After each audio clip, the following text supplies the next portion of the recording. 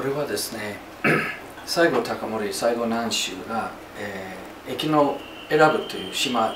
え、に島流しされてた時に、えー、書いた漢文の作品の一部分です、えー、まず何と書いてあるかというと「たとええー、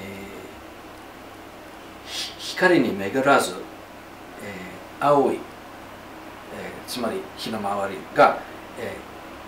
ー、火に向かう、つまりこれが自分がまあ、えー、見捨てられた身になってもう、えー、孔明天皇に対する忠実性は変わらないっていう例えで書いてるんですね。で文字の特徴として、えー、まず辺と作りの間が非常に狭い、えー、これよく職人タイプにあるんですけれどもまあ最後、えー、さんがラスト侍として、えー、自分が、まあ、決めた以上はえー、人の話を聞かないでめぐずめぐめぐら、えー、めげずにずっとそれをやる意志が感じます。この辺と作りの狭さ。それから、えー、こことこことここに気質が強いというところが分かります、えー、それが意志の強さに通じます、うん、であと、えー、文字と文字の間、えー、が、えー非常にまあ急いでないし詰まってないし、まあ、自分のペースでいく。もう強い侍のスピリッツを感じます、えー、実際にこれ書いてみるとですね、えー、西郷さんのその時の心心境が、えー、少し、まあ、触れることができてで西郷さんとまるであの対話してるような感じ。で西郷先生に、えー、教えてもらうという感じですね、えー、まあ、えー、得たいものが例えば意志の強さとか自分の芯を決めた以上であの絶対やり抜くとかそういう精神が学べると思います。さすがにラストサムライの書の体験です。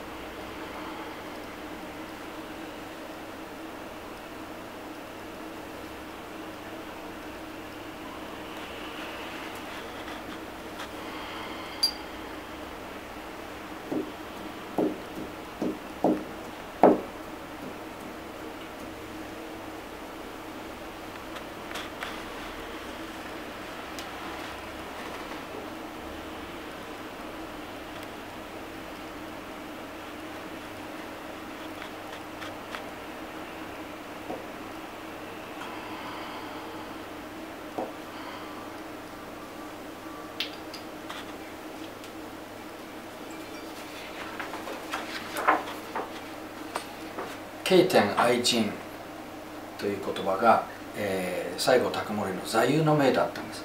もういろんなところにこの作品が、えー、見られます、えー、と言いますのは、えー、おそらく頼まれていろんな人のために書いたんですね。で、えー、天を、えー、に敬意を持ってつまりそれが理想でのあり方、えー、それから人を愛する。あの西郷隆盛が侍でありながら人をとても大切にしたんですね、えー、でも自分の理想も大切にそれも妥協しない。で、えー、先ほどの、うん、島流しの、えー、時の文字と大きな違いは壮大なビジョンを公に、えー、伝えてる感じがします、えー、もちろん字と字の間がゆったりしてるし文字も大きいし、えー、でこれが、えー、自分が、うんまあ、実践しているビジョンを公に伝えているという感じがします、えー、先ほどの作品はむしろ、うん、その内面的に瞑想をしながら自分の理想を磨いていた。その大きな違いがあるんです。で文字というのは、え人の心境によって、え